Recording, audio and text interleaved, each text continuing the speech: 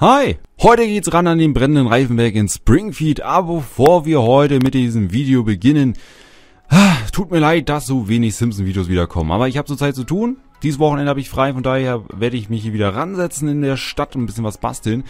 Äh, ich bin zurzeit im Real Life auch sehr aktiv wieder und ja, gehe auch nebenbei jetzt schon ins Fitnessstudio. Zweimal die Woche, da bin ich auch sehr stolz darauf, dass ich das jetzt durchziehe. Ist schon ein Monat, dass ich, sage ich mal, jetzt zweimal die Woche wirklich ins Fitnessstudio gehe. Habe ich auch Bock drauf. Äh, ist auch nicht schlecht, wenn man sich halt wieder ein bisschen fit hält. Besonders hier wie Killer, äh, Kellerkinder, ne? Die schon so richtig weiß sind. Naja. Jedenfalls, ähm, ja, habe ich Bock auch denn mal in Minecraft ein Fitnessstudio zu bauen. Bei den Simpsons gab's in ein, zwei Folgen auch ein Fitnessstudio. Also von daher Hätte ich Bock drauf. Haben wir noch nicht in der Stadt, von daher ist es auch mal was Neues und ich denke mal, das ist auch vielleicht was Praktisches, dass man sich doch mal in die Stadt ein bisschen mehr stellen kann, als jetzt hier so ein Reifenberg, aber ha, ich setze mich jetzt dieses Wochenende erst dran. Ne? Also von daher beginnen wir dann erstmal hier mit dem Reifenberg. Ich wünsche Ihnen viel Spaß jetzt beim Basteln von unserem Monsterberg und dann hören wir uns gleich.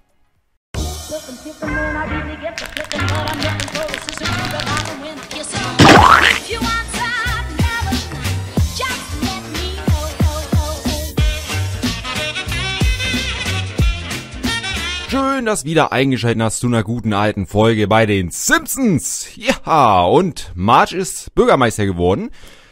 Darum bauen wir heute den Reifenberg, denn Marge hatte in der einen Folge, wo sie halt Bürgermeisterin war für ein paar Tage, bevor sie dann wieder äh, zurückgetreten ist, wollte sie den Reifenberg in Springfield vernichten, abräumen lassen.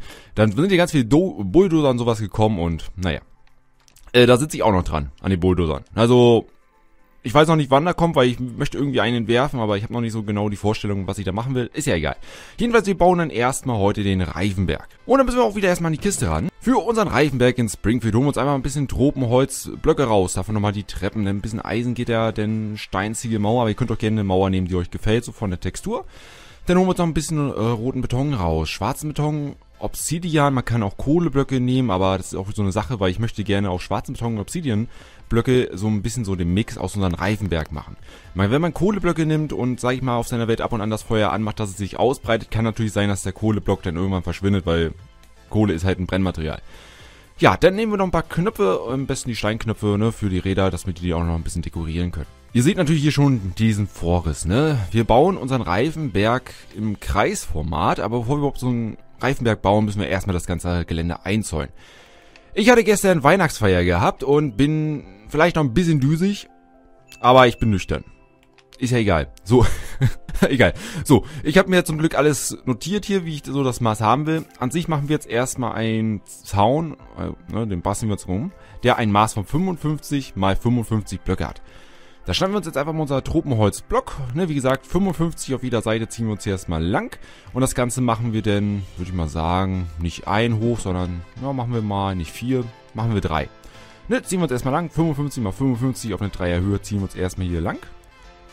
Wunderbar, dann haben wir schon mal unseren Zaun hier lang gezogen. Das heißt, jetzt machen wir hier vorne noch nicht die, die ähm, na, das Tor rein.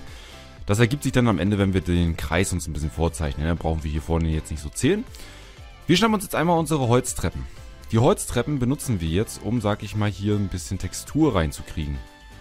Und wie machen wir das mit der Textur? Wir haben jetzt den Zaun natürlich auf eine Dreierhöhe. Das heißt, jetzt schlagte willkürlich ab und an mal hier ein paar Blöcke weg und tauschte so ein bisschen aus durch die Treppen. Ne, dass der Zaun so ein bisschen spröde ist, schon ein paar Risse zeigt oben. Ne, der ist ja nicht mehr so ganz stabil. Der Reifenberg existiert ja schon eine Weile in der Stadt, ne? Wir wissen ja alle, wer ihn mal, glaube ich, angefacht hat. Falls nicht, recherchiert mal ein bisschen in den Folgen. ja, jedenfalls, das machen wir jetzt erstmal so ein bisschen halt Textur reinhauen mit den Treppen einmal ringsrum. Also da muss man jetzt auch nicht übertreiben mit den Treppen. So ein bisschen halt überall die Treppen reinhauen oben, ne, dass er nicht so ganz glatt ist. Ja, wenn wir das soweit haben, geht's jetzt ran, uns den Kreis ein bisschen vorzuzeichnen. Da ergibt sich dann nach vorne der Eingang. Das heißt, wir schnappen uns jetzt ein bisschen schwarzen Beton. Ich habe mir das Ganze schön mit weiß vorgekennzeichnet. Könnt ihr vielleicht auch machen, euch das mit einer helleren Farbe zu kennzeichnen, weil ich finde immer mit schwarzem Beton, wenn ihr euch das zu doll irgendwie auf eine Flecke oder auf einen Flecken Erde platziert, dann verschwimmt das alles ineinander. Dann sieht man nicht mehr so ganz genau, so wie das halt die Form hat. Von daher, vielleicht nehmt ihr da auch erstmal weißen Beton oder so, um euch die Form zu machen. An sich ist der Kreis ganz einfach aufgebaut. Wir suchen uns erstmal die Mitte hinten raus. So, ich habe die Mitte. nee. Ähm, müssen wir natürlich zählen einmal. Äh, wir zählen auf der innenliegenden Seite. Ne, da bleibt uns in einer Reihe natürlich schon zu erspart, die zu zählen. Da zählen wir jetzt einfach mal 1, 2, 3, 4, 5, 6, 7, 8, 9, 10, 11, 12, 13, 14, 15, 16, 17, 18, 19, 20, 21, 22, 23, 24, 25, 26. So, 26 Blöcke auf jeder Seite. Der 27. Block ist dann natürlich die Mitte. So, wenn wir dann die Mitte gefunden haben, können wir uns jetzt hier erstmal einen 9er an sich platzieren. Das machen wir einfach mal. Zack, zack, zack. Zack. So. Neun Blöcke erstmal hier so hin. Ja, haben wir natürlich dann auch beim Neuner in der Mitte. So. Danach gehen wir jeweils zur Seite und setzen da einen Vierer hin. Dann setzen wir zwei Zweier hin. Einen Einer, dann einen Zweier. So ein bisschen das Format kann man dann auf der anderen Seite auch machen. Ne? Nach unserem Neuner ein Vierer, zwei Zweier, dann ein Einer und ein Zweier. So, wenn wir das Ganze dann soweit haben, biegen wir jetzt schon ein bisschen so nach vorne ab. Nach unserem Zweier kommt dann jeweils immer ein, also zwei Einer, dann wieder einen Zweier, Einer, dann wieder zwei Zweier, ein Vierer und dann wieder unser Neuner. So, und dann würde das Spiel wieder vom Neu losgehen. So, ich mache es noch einmal mit der anderen Seite mit euch und danach stelle ich mich oben hin und führe das einmal aus. So, das heißt nochmal auf der anderen Seite, ne, nachdem wir dann hier so ein bisschen, dass hier diesen Mix hatten, kommen dann zwei Einer, dann biegen wir so nach oben ab, kommt ein Zweier, ein Einer, zwei Zweier. Danach kommt schon wieder unser Vierer und dann unser Neuner. Super, so, dann haben wir ja auch hier das geschafft und den Rest, den muss man dann oben nur noch nachfüllen, ne? So, einmal kurz hingestellt und flupp. Ja, dann haben wir unseren Kreis einmal ausgefüllt. Das heißt, jetzt geht es weiter und zwar wollen wir jetzt vorne erstmal die Fläche freihauen, ne, für unser Schild und alles. Das können wir dann auch gleich erstmal fertig bauen, ne? Dann haben wir die Blöcke gleich mal verbaut und dann brauchen wir sie auch nicht mehr, dann geht es ja nur an unseren Berg ran. So, wir haben jetzt, sage ich mal, unseren Kreis so, ne? Ähm, der Eingangsbereich befindet sich immer auf der Seite, wo ihr, also auf der gegenüberliegenden Seite, wo ihr angefangen habt. Warum? Weil wir, sag ich mal, hier nur zwei Blöcke hinten Platz haben und vorne haben wir, hm, lass mich jetzt nicht lügen, ich glaube drei oder vier. Vier Blöcke waren das, ne? Vier Blöcke Platz, das reicht ja für den Eingang. Zufolge war vorne auch noch ein bisschen Platz. Ne? Man kann sich ja noch hier im Nachhinein überall in den Ecken noch ein paar lose Reifen hinpacken, wenn man möchte. Naja, jedenfalls, wir haben hier unsere neuner Fläche. Die neuner Fläche können wir auch eigentlich komplett vorne einmal so freihauen. Würde auch genau aufgehen. Genau, sind neun Blöcke, die wir hier vorne haben. Das schlagen wir dann auch hier einfach mal weg. Wenn wir das soweit haben, müssen wir unser Schild oder Tor zuerst platzieren. Ich würde mal sagen, wir machen erstmal das Tor hin, damit wir... Jetzt ist natürlich doof, dass, sage ich mal, Eisengitter, sag ich mal, meinen schönen Graspfad so beschädigen. Ne? Das sieht natürlich nicht geil aus. Man kann das auch leider nicht so mixen. Man könnte natürlich jetzt hier so einen Wechsel machen. Aber es gefällt mir natürlich auch wieder nicht. Ne? Das sieht natürlich doof aus. Habe ich so jetzt auch nicht bedacht, muss ich ehrlich sagen. Habe ich in dem Moment nicht gedacht. Ich nehme jetzt einfach mal mir meinen glatten Stein als Unterlage.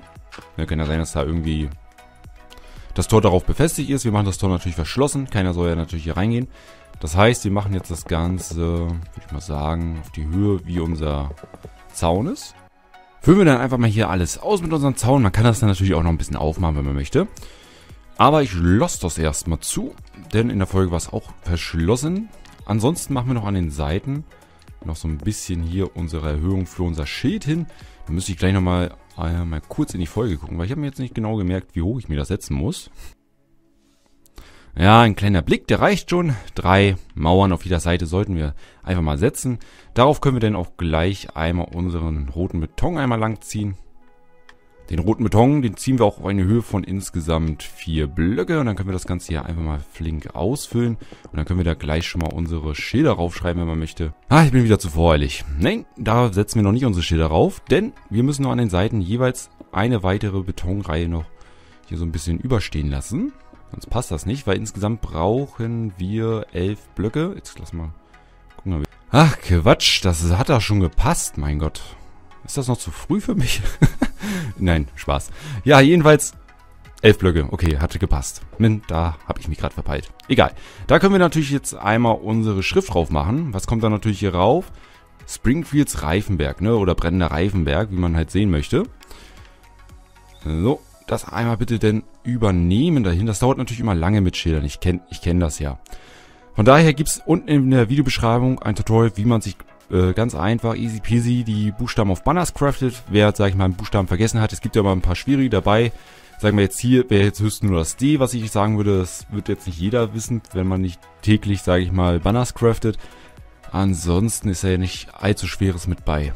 So, einmal noch die Schrift raufgeschrieben. Das reicht auch, wenn wir die nur auf der Vorderseite machen. Auf der Rückseite brauchen wir das nicht unbedingt. Ja, dann haben wir eigentlich schon den Größteil so ein bisschen fertig. Ne, von unserem Reifenberg. Naja, eigentlich nicht. Wir müssen natürlich jetzt noch den Reifenberg an sich bauen. Wir beginnen einfach mal erstmal mit schwarzem Beton. Macht euch jetzt nicht so ein Kuddelmuddel mit Obsidian, dass ihr das da gleich mit rein. Das machen wir einmal am Ende. Von daher, oder ihr könnt auch natürlich mit Obsidian beginnen, ne, wie ihr möchtet. Aber ich nehme einfach schwarzen Beton. Ich habe mir so ein bisschen überlegt, wie hoch der Reifenberg bei mir sein soll. Ich habe so eine Schätzung gemacht, weil zufolge war das der Reifenberg jetzt auch nicht allzu hoch. Ist natürlich höher als die umliegenden Gebäude. Habe ich mich jetzt natürlich hier an unserem Matratzenladen und Quickie-Markt so ein bisschen orientiert, dass es da doch ein bisschen höher geht. Von daher habe ich gesagt, okay, ich mache fünf Ebenen und alle fünf Ebenen, die haben eine Höhe von vier Blöcke. Am Ende designen wir das ja noch, ne, da kommt dann noch ein paar Schichten dazu. Ihr kennt das ja vielleicht noch vom Berg, ne, dass wir das noch ein bisschen Struktur reinhauen, ne, oder Struktur raushauen, wie man möchte. Ja, das heißt jetzt erstmal, bevor wir jetzt ins Kreis für Kreis ziehen, ähm, setzen wir uns jetzt erstmal den Außenbereich auf insgesamt ähm, vier Blöcke erstmal insgesamt hoch. Eine Schicht hatten wir ja schon, das heißt natürlich drei. Ihr seht, ich habe ja hier mit äh, Graspfad gearbeitet und ich habe ja mir das unten mit weiß markiert. Ne? Natürlich könnte ich jetzt sagen, müssen wir austauschen noch, aber ich setze mir ja überall an den Seiten noch ein paar weitere äh, Betonblöcke hin, ne, so oder Obsidianblöcke ne, als Design, da würde das dann verschwinden. Ne? Wir wollen das ja nicht unten so glatt lassen. Von daher brauchen wir darauf nicht achten. Außer du machst es natürlich nicht, dann solltest du darauf achten, aber ist ja egal. So, jedenfalls machen wir jetzt erstmal den Außenbereich auf insgesamt vier Blöcke hoch.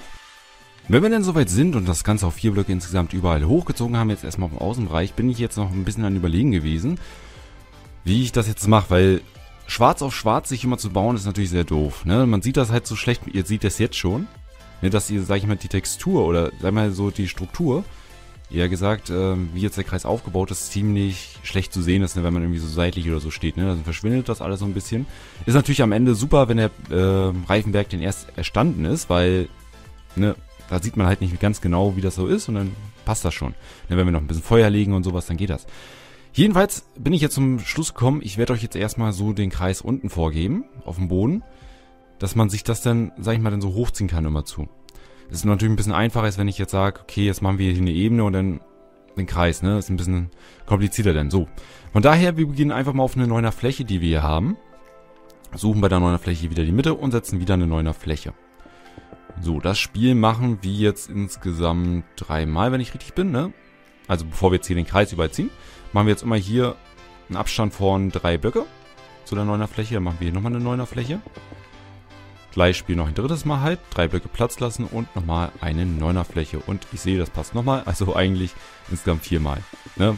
Wir haben natürlich fünf Ebenen, das heißt dann insgesamt fünfmal so eine Neunerfläche, die so nach vorne geht. Und dazwischen haben wir dann immer drei Blöcke Platz. Ich mache es hier noch ein zweites Mal mit euch zusammen, dass man das nochmal sehen kann. Ne? Wir lassen zu jeder Neunerfläche drei Blöcke Platz und dann geht das Ganze auf. So. Wir können jetzt natürlich den einfachen Schritt gehen und zwar, ich beginne jetzt einfach mal hier vorne in der Ecke. Ne, wir verbinden jetzt einfach mal die zwei Neuner miteinander. Jetzt, der erste sind nur zwei Zweier. Danach setzen wir dann hier einfach mal beim zweiten Kreis immer zwei Zweier an den Seiten hin und dann können wir das Ganze hier mit drei Einzelnen verbinden. Danach wird schon wieder ein bisschen schwieriger. Da setzen wir auf beiden Seiten erstmal einen Zweier, gefolgt dann immer von einem Einer. Danach kommt wieder ein Zweier und dann treffen sich in der Mitte mit zwei Zweier. So, danach kommt noch der letzte äh, Kreis. Da setzen wir an den Seiten drei Blöcke hin. Erstmal ein Zweier, ein Einer, ein Zweier, dann zwei. Nee, so, erstmal andere Seite nochmal. ja, nach einem Neuner ein Dreier, ein Zweier, ein Einer, ein Zweier. Und dann treffen sie sich auch hier mit zwei Einern in der Mitte. Ne, eigentlich ganz einfach, wenn man, sage ich mal, doch eher das Format nimmt. Ne? Wir setzen erstmal vier Neuner hin und dann verbinden wir mal die Ecken miteinander. Ich kann mich hier noch einmal kurz hinstellen, führe das Ganze aus und blub, Geht auch eigentlich relativ einfach, ne? Wenn man sich so ein bisschen, sag ich mal, die Hilfe nimmt mit den vier Neunern ne? und dann die Seiten miteinander verbindet. So, macht doch schon ein ganz schönes Bild, so unsere, unsere paar Kreise, die wir uns schon gezeichnet haben. Aber das ist natürlich nicht alles. Jetzt kommt natürlich der schwierige Teil. Und zwar wollen wir jetzt unseren Kreis, Kreis für Kreis, sag ich mal, höher setzen. So. Das heißt, wir gucken, wo haben wir das hier? Ist natürlich ein bisschen schwierig. Ich nehme mal kurz so einen anderen Block, um mir hier so einen Überblick zu machen. Also 1, 2, 3, 4 den weg. Ah, ich sehe das einfach nicht so gut. Also, zack, war sowieso ein bisschen höher. Mhm. Gut, dass man sich da andere Blöcke nimmt, einfach mal so als Markierung. Ne? Also, wir gehen jetzt immer so vier Blöcke höher. Ne, man kann jetzt auch sagen, wir machen dann erstmal hier so das Maß. Gucken wir einfach mal immer. So sieht das Ganze denn aus, wenn man sich das so ein bisschen hochgezogen hat. Ne, wie gesagt, nimmt da einfach einen anderen Block, um zu gucken, weil ansonsten, ihr verbaut euch. Ne, ihr seht das nicht bei dem schwarzen Block. Von daher, nehmt euch einen anderen Block als Hilfe, um zu gucken, ob ihr auch wirklich immer vier Blöcke höher seid. Und jetzt kommt natürlich die Massenarbeit. Ne, wir müssen jetzt hier Kreis für Kreis immer hochziehen. Ihr könnt euch dann natürlich jetzt zwei Wege machen. Entweder macht ihr komplett das einmal auf die gleiche Ebene oder ihr sagt euch, ich mache es noch ein bisschen komplizierter und grenzt das so ab. Ne, habt da unten ein bisschen was frei. Ich sag, macht das nicht. Zieh alles hoch. Ersparst dir Arbeit, sag ich mal, dir ein bisschen was vorzuzeichnen, zu gucken, ne, sparst dir Zeit und sowas.